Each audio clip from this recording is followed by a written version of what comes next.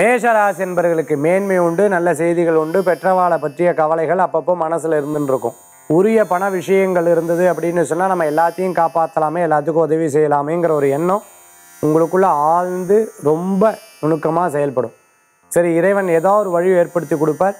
நிச்சயமாக அவளுக்கு நல்ல மாற்றங்கள் வரும் அப்படிங்கிற ஒரு எண்ணம் உங்களுக்குள்ள நிறையா இருந்துருக்கும் இன்றைய தினத்தில் மேஷராசி என்பர்கள் யார்கிட்ட பேசி பழகிறது? அதாவது நம்ம சரௌண்டி நம்ம சொந்த பந்தத்தை தவிர மூணாவது ஆட்கள்கிட்ட பேசி பழகும் போது சற்று கவனம் என்பது தேவை. தினத்துக்கு தினத்துக்குண்டான அதிர்ஷ்டமான என் ஐந்து நிறம் சிகப்பு. வழிபாட்டுக்குண்டான தெய்வம் மகாவிஷ்ணு வழிபாடு அமோக பலன்களை தரும் அற்புத வழிபாடு.